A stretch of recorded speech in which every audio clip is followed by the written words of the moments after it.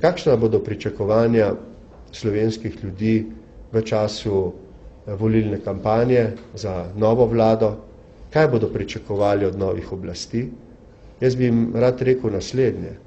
Glede življenjskega standarda ne ne pričakujejo veliko. Ni mogoče ob tej produktivnosti in ustvarjalnosti, ki jo imamo, bistveno izboljšati življenjskih razmer naših ljudi.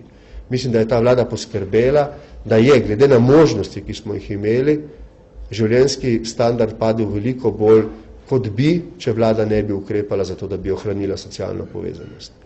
Morda so tukaj kakšna druga pričakovanja. Vsekakor menim, da bo predvolilni čas tisti, ki bo pravzaprav razkril skromnost alternativ. Skromnost alternativ. Uh, če imamo enake cilje, tudi če smo politični tekmeci, potem tudi politični tekmeci ne bodo morali zanikati potrebe po reformah.